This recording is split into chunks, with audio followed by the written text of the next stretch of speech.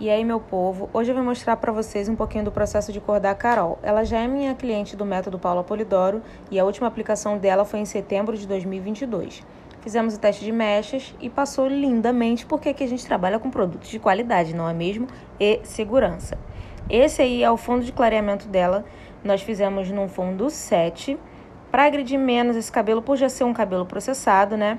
E logo em seguida acidificamos e passamos o tonalizante. Uma cor que eu não vou contar para vocês porque foi criação própria minha e da minha prof. Érica Barros. Aí já finalizamos o cabelo dela, fizemos o tratamento e é isso eu secando esse cabelo. Percebam que a curvatura está íntegra, cachos perfeitos, a cor bonita, saúde. E aí vocês podem acompanhar um pouquinho da felicidade dessa garota. Foi um trabalho de 12 horas, mas assim, muito gratificante. Esse vídeo é para mostrar para vocês que um cabelo que